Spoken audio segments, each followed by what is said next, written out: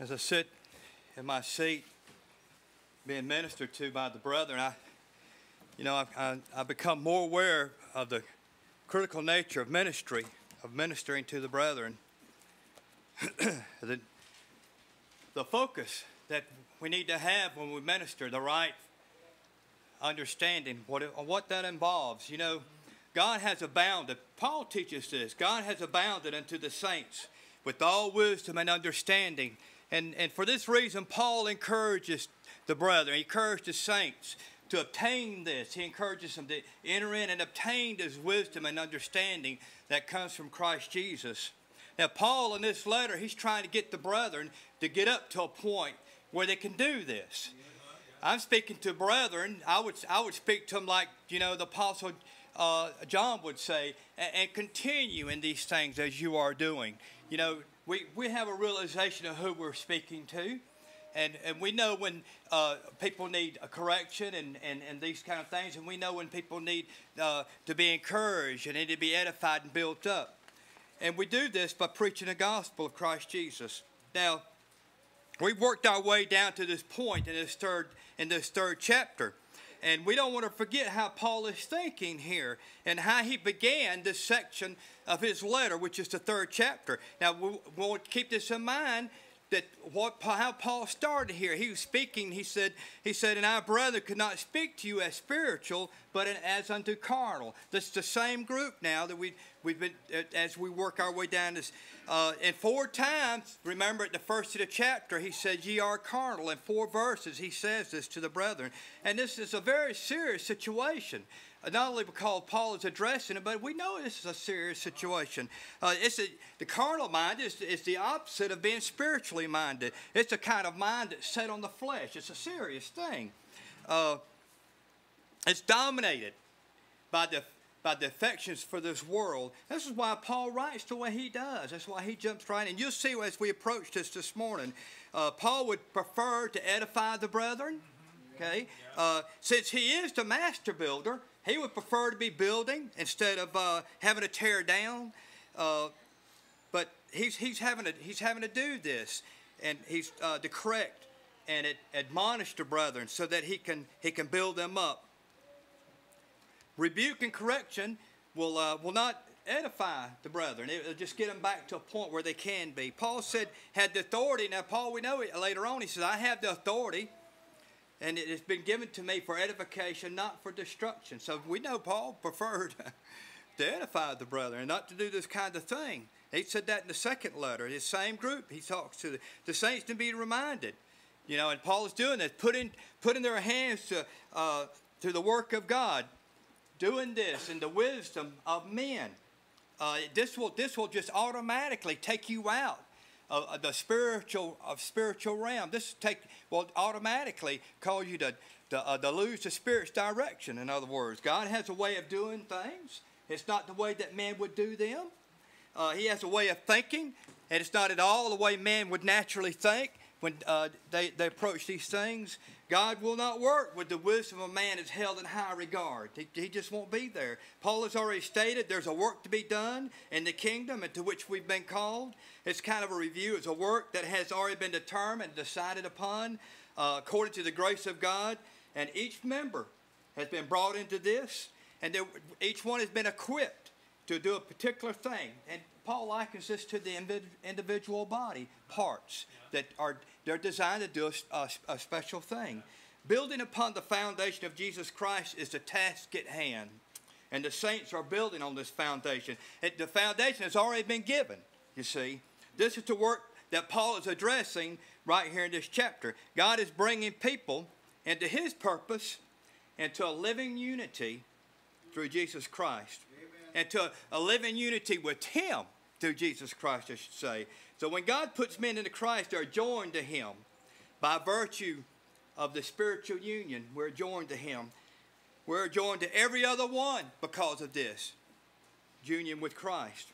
And God's purpose and His ways, why then they become our our purpose and our ways and, and our thinking. You can see that the real work of maturing in Christ Jesus, well, this can only take place until after one has been uh, placed on the foundation of Jesus Christ. And a real work can begin. God is not going to let anyone attempt to do this in the power of the flesh, using the wisdom of this world and the way men think.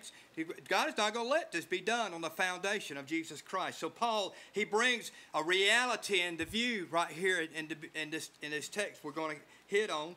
Uh, he brings it into reality for all the saints to see that uh, we're confronted with this this morning in verse 13. And uh, we can see how Paul approaches this. There's a great consuming fire that precedes the Lord. It goes before him and prepares his way.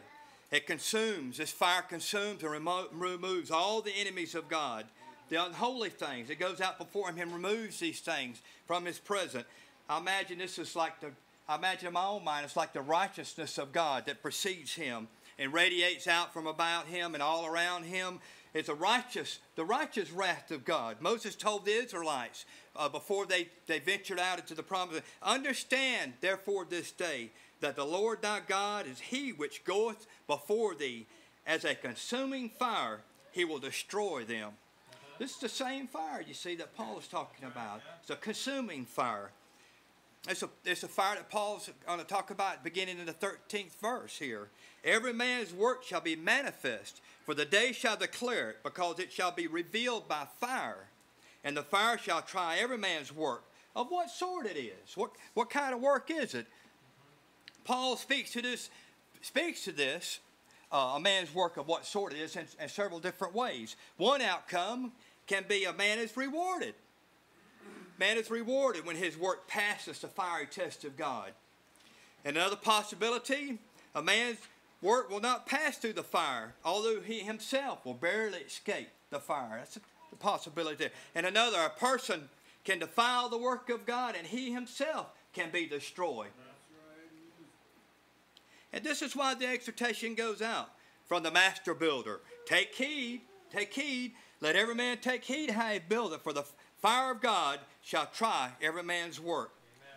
Amen. Now, we got to know that our work must pass through. Our work must pass through the same fire that we ourselves must pass through. Yes. What, what we put our hands to do and what, what we put our mind to do. On that final day, the coming of the day of God, when the heavens shall pass away, as Brother Ricky, Brother Ricky read earlier this morning, the great noise Peter said, And the elements shall melt with fervent heat, and the earth also and the works that are therein shall be burned up. Yeah. In that day, not only we ourselves must be able to pass through this, but the things we have done, the things we put our put our hands to during this time, they got to pass through. If any man's work shall be burned up, he shall suffer loss, but he himself shall be saved. Yet so as by fire. It's like a brand plucked from the burning. Uh, the laborer whose work is burned up will barely escape out of the fire that consumes his work. We don't have to search the scriptures about this and build a case for it. These things certainly will happen on that final day. That's, that's why the warning goes out. When all these things will be rolled up and completed and the work of God is done, I'm talking about the fire that's going to burn up this world and all the things that God has made. In the judgment, when every man's work will be made known. This, when this happens, though, this will be this will be too late. This will be the final thing. It, it, it, it this will be uh, the final day, and, it, and it'll be too late to do anything about this kind. However, until that last and final day comes, God is accessing and He's making judgments on the people of God now. Judgments of God, even today, are taking place among the people of God, among the churches. Now, this is a mercy of God He's allowing for this. This is a great mercy of God. Uh, before it's too late, he's doing these kinds of things. We know that Jesus done this. He's given us a record that tells us that Jesus walked among the churches in Asia. And we got a letter that tells us about this with warnings, making known the true. This is your true condition here, and uh, and he's giving. I'm giving you fair warning. In other words, Jesus is in the midst of the churches, brethren. He's examining and weighing the condition of all the brethren. He's weighing the condition of me and, and all the brethren. He tells, those in need, he tells those in need, he says, buy from me. Yeah, he'll address the situation and he'll exhort us, buy from me, come to me. What you, what you need, and you need some things, you're going to have to come get them from me. That's right. You know, uh, it should be obvious that uh, what we need, we must get from the Lord. Know, that should be obvious since he's the one examining and he's the one that's uh, in assessing these things. That uh, man can't give us the things that come from God. Jesus Christ has been appointed for this. Now, men can direct us to the Lord. Okay, that's what direct me to God. When, when, when we're talking to brethren and we're, we're, we're trying to help them and direct we drive like uh, like uh, we do here. We, we direct them to the Lord. We, we tell them what the Lord can do. God is, he's depicted, you know, as one who sits as a refiner and a purifier of precious metals in the scriptures. Who may abide the day of his coming? And who shall stand when he appeareth? For he's like a refiner's fire and a like fuller's soap. Peter puts this together for us. And he, he, puts a, uh, draws it together. He makes a connection to the, to the life that's, that we live in the kingdom of God. Beloved, Think it not strange concerning the fiery trial which is to try you. He's speaking of the fire that tests God's people. Amen. Test the faith of God's people. It's a fire. Today it's a fire that's not intended to consume us. This fire will not consume you, brother. It's, it's, it's designed to, to consume other things. But it comes now to test and, and to prove our faith. Prove, prove it. That the trial of your faith being much more precious than of gold, that perish, though it be tried with fire, might be found unto praise. He's talking about faith, that it that it be tried with fire, might be found unto praise and honor and glory at the appearing of Jesus Christ. The trial of your faith. This is God. God is doing this. This is God's working. When, when, when, when men go through hard times and trials and all these things that are, that are part of this world, this is God's working. See, God is managing these things. We don't, we, the brethren, we don't shrink back from this. In fear and trepidation, we go in these things because we you know we understand that God is working here. Yes. It's not that simple. This is where the struggle takes place. For it is the genuineness of faith. You see that God is after. It's a, that's what's being tested, the genuineness of our faith, like the pure and genuine gold that is obtained by the fire, the refiner's fire this is what God is after this pure and genuine faith. There's an intellectual acknowledgement of Jesus Christ. It, it, it, from the surface, it appears much like faith. But this is not the, this, this intellectual stance, this kind that I'm talking about.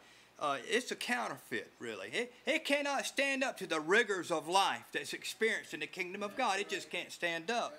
God knows it. He's going to send you in, and, and it, uh, you got to know this yourself. Do I have an intellectual stance of Jesus? Do I have some faith? Even a weak faith and a fearful faith will not last in this incredible conflict. It can be an incredible conflict, which is a part of the training and the testing that comes from God. You know, it's a, there's a lot of celebrating when a miner of ore, when he finds what he's found, turns out to be real gold. You know, I, when he finds out I, what I found, this is real gold. Uh, it's the same kind of rejoicing, isn't it, brother, that we experience when we find out that what we have in our possession is real faith. Okay? Yes. This can give us boldness and confidence that when we're going to enter a time that we, we can exit right through it. Because I've got, I've got faith in the Lord. He's shown to me I have faith. It's important for us to know. Now, Jesus knew the whole time that was on the earth. There was one of the number that was numbered with him. He knew the whole time that Judas was in the group. And what he was doing in the background, sneaking around, he knew all along. Right. Jesus knew it. God gives faith. Don't you know? Certainly God knows whether our faith is pure and genuine or not. Sure, He does. Our faith is tried and is tested for many reasons. And they all come as a testimony to the glory of God. There's a, there's a, there's a lot of a lot of brethren that need to see some things that God is doing when He's working in us. And number one of those is ourselves. And the fire that comes at the end of the world, now it won't come to decide who goes where and these kinds of things. Really, that's not what the this fire will come to remove that which has been defiled by sin. This is the purpose of this fire. When it comes on the last day, it will utterly remove all the defilement. That's it. The testing and the training that comes to the fire trial of faith, of which Peter speaks, It's a way that God is removing the defilement from us now. When we, when we, we got to wipe the uh, this dross off of us. And it comes to the surface, we wipe it off. As God works it, He works it out of us, we wipe it off. The truth about the faith of God, that it will get us through the, all the trials that come our way, this is something we got to take hold of. All the brethren do. And we, and we do it more and more each time. It's not something we just get all at once. But see, because we talked about this this morning, it's just crystal clear, isn't it? That it's something we, it becomes more evident and more clear and more clear that we got to get it fixed in our minds and to be convinced and determined. Kind of like a resolute. I'm resolute about this thing. Nothing doubting, James said. We want to have already come to grips with this before that day comes when we when the trial and the, and the testing of our faith comes. We want to have it, we want to be resolute about this. Now, the work of our trial and testing, the glorious thing about it, it will actually push the world further from us. It will. It'll increase our sensitivity to God. You can be sensitive to God's awareness of God. It'll strengthen. It'll actually strengthen in our longing for glory. It'll make you a workman approved of God. That's what it'll do. Certainly. Trial and testing that God sends our way, the purpose of them will perfect us, will perfect us in a way that will be confirmed to the end. That's what God's going to confirm us to the end. And all our work, it'll also be approved of God through this testing going on now. We want to keep us strong in our believing, strong in our believing. And we want to stay in a place where we can best be advantaged by this. Now, you got to find that place for yourself, brethren. You got to say, Am I advantaged? You know, you got to understand what advantage means, but then when you do, you say, Am I being advantaged in the things of God? Is where I'm at, is this helping me? Then that's where you want to stay, brethren. Everybody has to come to this point. Jesus applied, Jesus replied to them in John 10. Remember chapter 10. Verily, verily, I say unto you, he that entereth not by the door into the sheepfold, but climbeth up some other way, the same is a thief and a robber.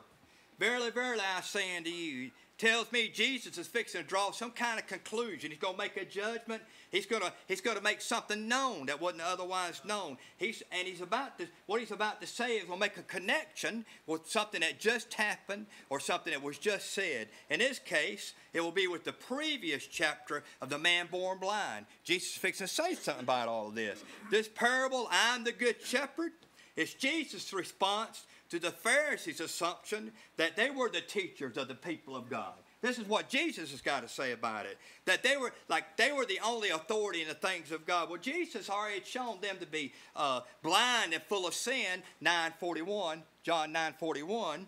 Jesus says, He that entereth not by the door into the sheepfold, but who climbeth up some other way, the same as a thief and a robber. The thief and a robber, in other words, they do this. They come from somewhere else, you know.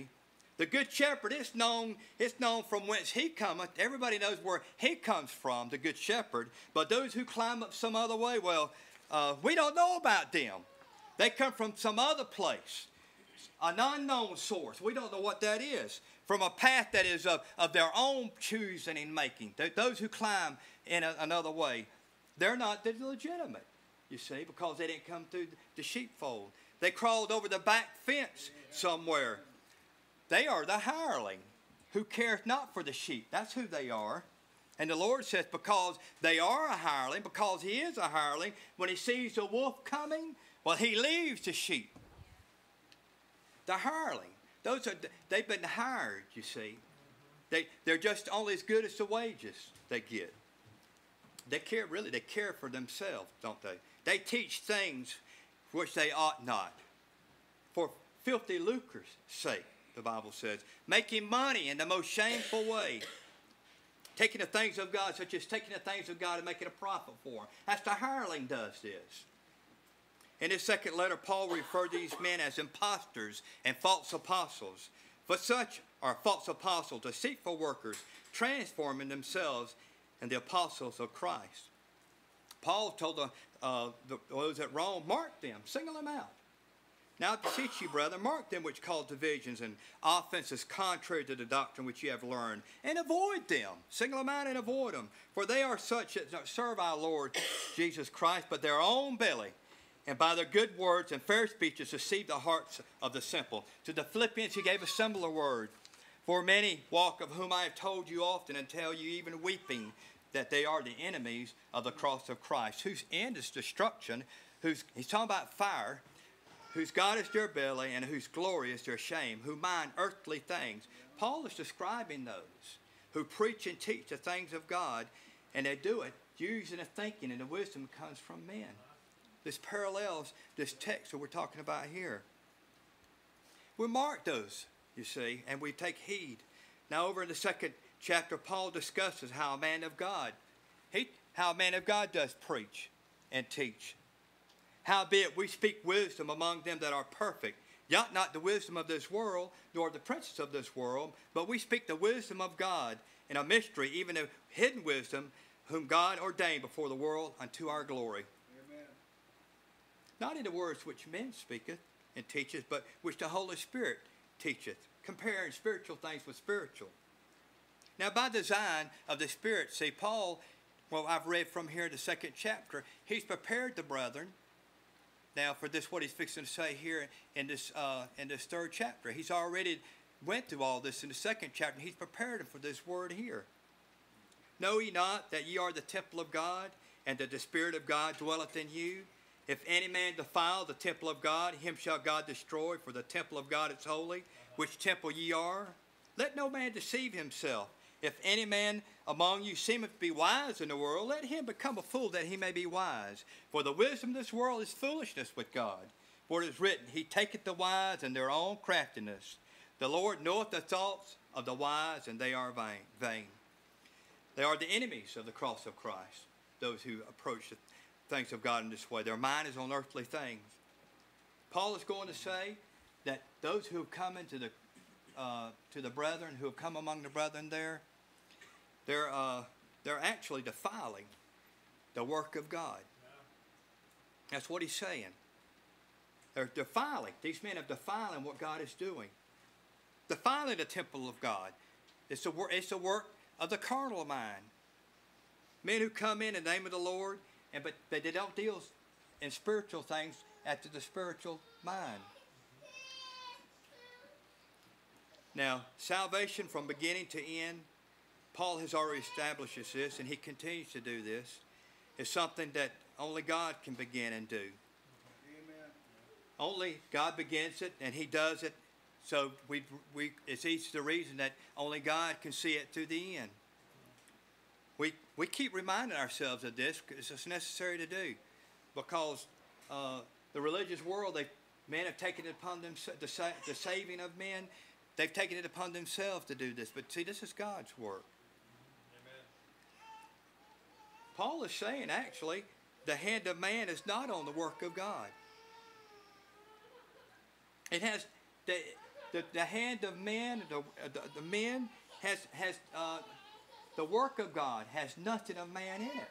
You see, he, God has done this on purpose. All the things of God are as, as, are of the, as the altar of stone that we read about in Exodus. The man was prohibited from putting a tool upon the work. Man could carve and fashion on the altar of stone. They wouldn't put the tool, could not man's tool could not be put on the altar of God. The natural mind cannot be trained to be spiritual. Amen. And since the things of God are spiritual, well, then the natural mind is out. The carnal mind is out of it. None of these, can, none of these things can be used as a tool on what God is doing. But the natural man receiveth not the things of the Spirit of God, for they are foolishness unto him. Neither can he know them, because they are spiritually discerned. But we have the mind of Christ. I appreciate what Sister Maddie said last week, and uh, it was either an opening or, or a calling or something. But uh, she said, if you're not spiritually minded, then you automatically you default to the carnal mind. See, just only there's only two minds. People are just deceiving themselves. That they think they can just be in a, in a neutral place. I, I hadn't quite made up my. There's not a made up my mind place. If there's either a carnal mind or a spiritual mind, he that planteth and he that watereth are one, and every man shall receive his own reward according to his own labor. If any man's work abide, which he hath built thereupon, he shall receive a reward. Now we are reminded about reward. The reward. This reward is always found in a singular. It's not in the plural. I couldn't find anywhere that was ever used in the plural. Now the works of men, that's found plural, but not reward. It's always singular. In the beginning of Revelation, the second chapter tells the churches in Asia, I will give thee according to thy works. This is the way the same letter closes. Behold, I come quickly, and my reward is with me to, to give every man according as his work shall be. The book begins of Revelation. It begins and closes with this kind of exhortation. Actually, the whole new covenant is wrapped up in what God is going to give.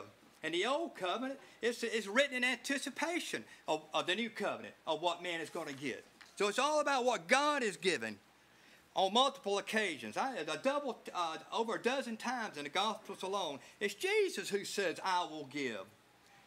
Each time is based on, on their response to God, but not, uh, but, uh, but it's Jesus says, I will give unto them. But there's not that, but there's not all there is to know about this thing that God is going to give. There's something to see in this matter of, of who gives and who gives what. There's something opened up to us that after we come into the kingdom, it's opened up. That we see it was God who gave in the very beginning. We see that in this matter of giving, it was God who gave first. He first loved us. Before it was even uh, possible for man to respond, right? God gave. There was a giving of God that is that's not in the response to anything man can do. There's an aspect of God's giving that is not reward or wages. He just gave it. This is the way God extended himself in salvation through Christ Jesus. He, he gave it initially because God is good. We, this, is, this is the goodness of God. It's seen in the way that he brought salvation to men. And the choosing, we see this more precisely in the choosing of his elect, done before the foundation of the world, when, when it was appointed unto Christ. The sovereignty of God to do what was right in his own eyes. That, that he chose his own people. The people belonged to him because he chose them. It, it, was, it was God's. Who, if you got to see, God is giving in this. Salvation comes from God, and it cannot be obtained by men. God's giving, you see. This kind of God, this kind of giving I'm talking about was something that was not a response that men could do. God must give it. Amen. It's not a works lest any man should boast. Before there was any kind of uh, teaching like Calvinism or anything like that, we have Ephesians 2 8 and 9. For by grace are ye saved through faith, and that not of yourselves. It is a gift of God, not of works lest any man should boast. Not of yourselves, means everything that's mentioned in this verse grace, salvation, faith, all of that. It's a gift of God. Jesus told his disciples, and they were supposed to pass it along to us, and they did. It's the Father's good pleasure to give you the kingdom. Now, this idea take, is, uh, takes a, a, greater depth and meaning when, you, when we consider an aspect of rewards. That God has every intention of giving a reward to those who do a good job of keeping those things that He's given them, you see. It is all it's taught all through the scriptures. It is seen in the parable of the faithful steward. Every man shall receive his own reward according to his own labor, a reward given to those who labored together with God at, the, at, at that time.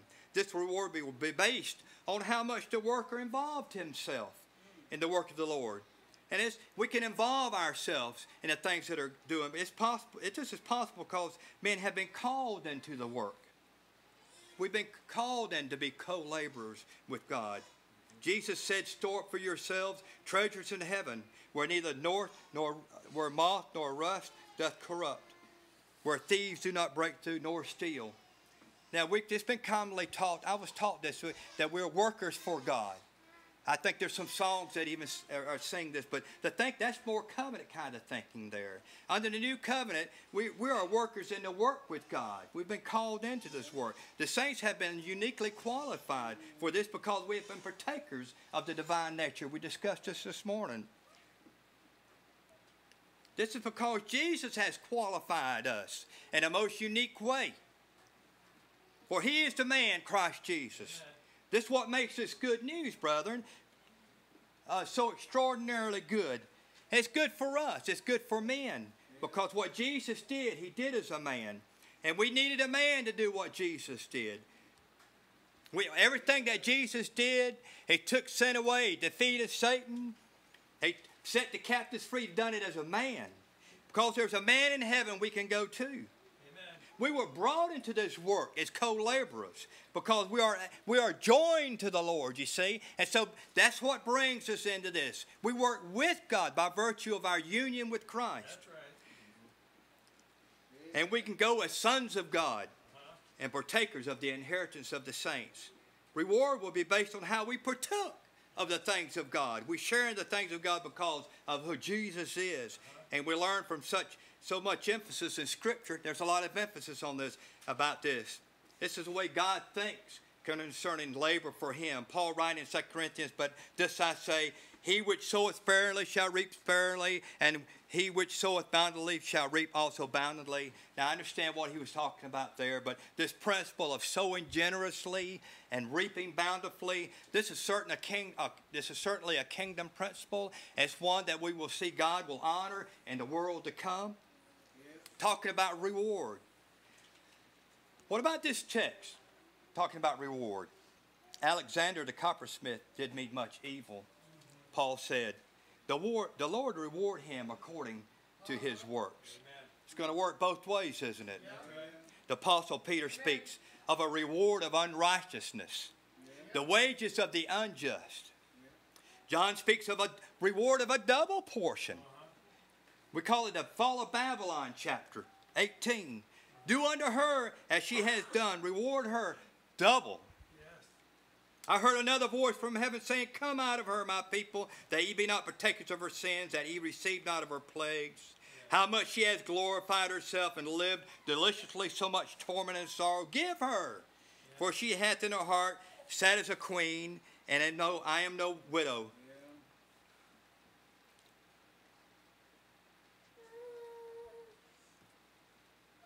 We see how much that uh, reward is consistently held out before the saints. Yeah. There is a tremendous amount of this in the scriptures. Yes. Reward given to the saints, yes. consistently held out before them. It would be wise for us to see wages as a primary thing as while we're in this world. Right. Yeah. Something to set our minds to, the reward. To set our affections on. We're to seek for reward. We are to lay up for ourselves treasures in heaven. He that receive a prophet in the name of a prophet shall receive a prophet's reward. He that receiveth the righteous man in the name of a righteous man shall receive a righteous man reward.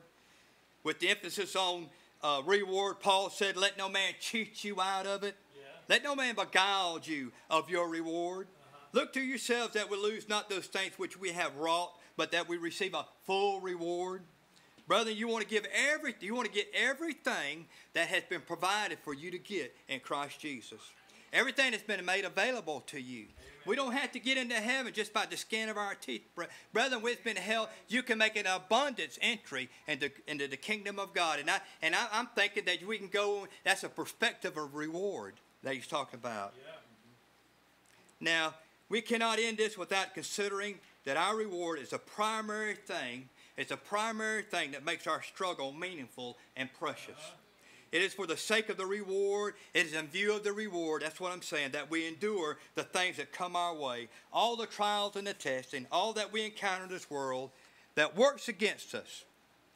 When you take these things into account, those things that come, the manifold trials that are sent to challenge our faith, and compare them to the reward, then it's Apostle Paul that teaches us there are light affliction which a light affliction is also singular.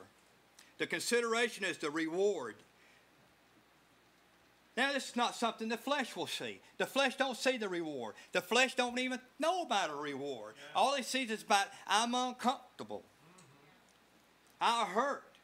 This is an inconvenience. This is going to be an inconvenience to me. I'm going to be uncomfortable.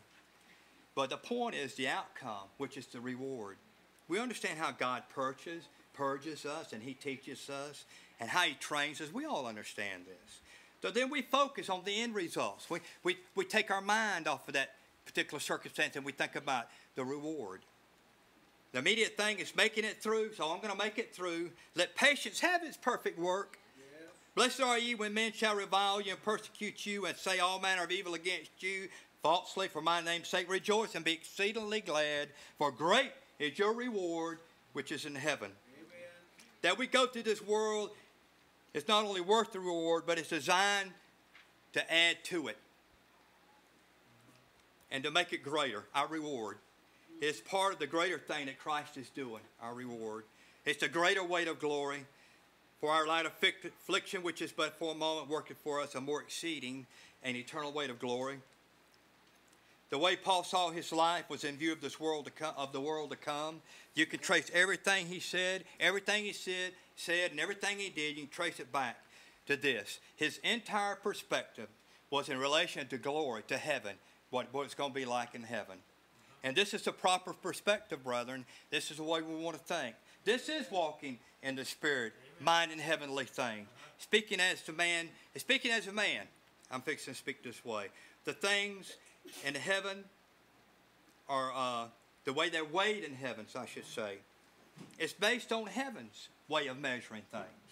They, heaven doesn't weigh things like we weigh them. In heaven, it's called an eternal weight. Okay? That's the way things are measured out in glory. They're, they far outweigh the way they appear in this world. You see, when we get to eternity, then we're going to see what, they, what things really weigh. The Lord gives us a greater, He gives us a greater weight.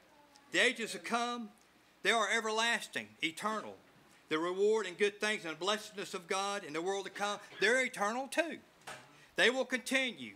And I'm thinking because they do, I can sense that they will increase uh, the, the reward will be of such a nature that it will, it, will grow. Yeah. It, won't it be alive?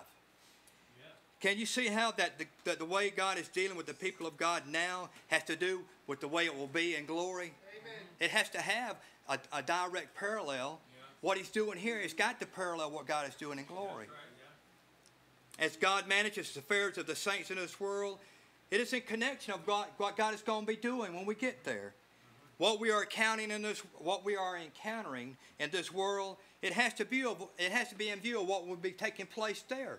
See, our our way to reward is through this world, a place of affliction.